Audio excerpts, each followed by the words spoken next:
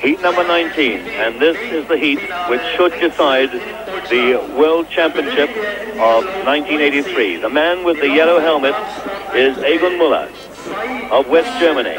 He has scored a maximum 12 points from his four rides so far. He would be the, West Ger the first West German to win the world title. Very, very popular, and of course, the mass of these fans here just keeping their fingers crossed for this, this last ride. If he rides the maximum once again, he will be the world champion. But in fact, such is the case that if Muller would have finished second, he would still be the world champion. The man in white is the man who's going to give him most trouble, Hans Nielsen, who's on nine points.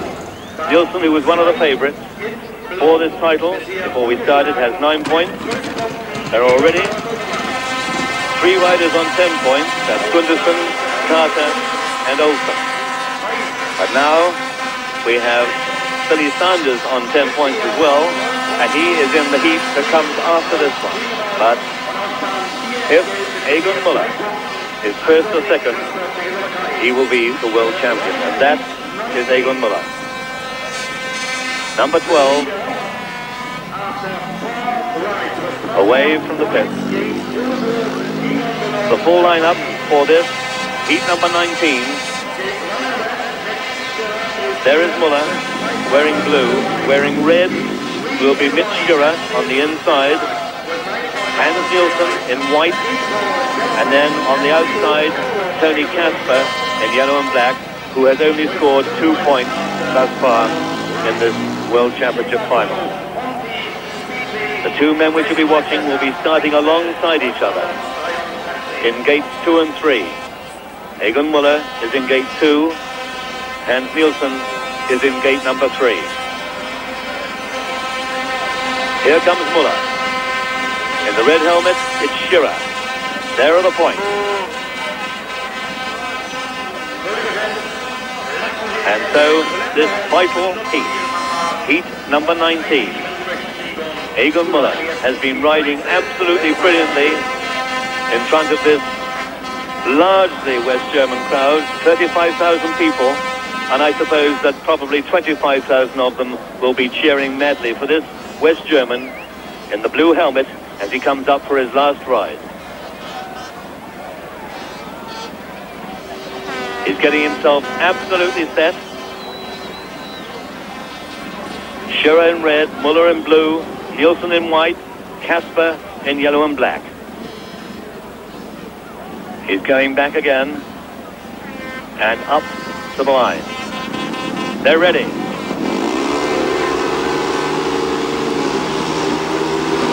They're off and he was left. He was left of the gate. But Kenny comes through on the inside. He's on the grass. He was riding around on the grass, but he's in second place at the moment. In the lead at this moment is Hans Nielsen. In second place is Muller. In third place is Mitch And in fourth place is Toni Kasper. Well, his front wheel was on the grass as he went around there. And in front, at this moment, it's still Hans Nielsen. Wondering whether the referee will make any comments about the riding of Egon Muller, and that would be quite remarkable. Well, that first corner was quite unbelievable there because Egon was virtually on the on the limit, and Nielsen's bike stopped. Nielsen's bike stopped, so that gives Muller the, the lead. What a sensational heat this has been. Hans Nielsen's bike stopped, and with only a half a lap to go, Egon Muller virtually comes back from nowhere. He comes over to take the three points. In second place, it was Shirra. In third place, it was Kasper. But we are wondering whether there could be any problems at all about that first bend. If there isn't, then Egon Muller is the world champion for 1983, and as far as he's concerned, he feels that he is. He's ridden brilliantly all through this series. Only in this last race race did he show any signs of pressure. That's right, that last start he did was, was terrible, really. He missed the gate completely, but he made a first corner there with almost both wheels over the grass. but I, I think the back wheel was definitely on the right side of the line, so I don't think he's going to be disqualified. And as far as the television is concerned anyway, Egon Muller of West Germany becomes the first West German ever to win the individual World Speedway Championship final.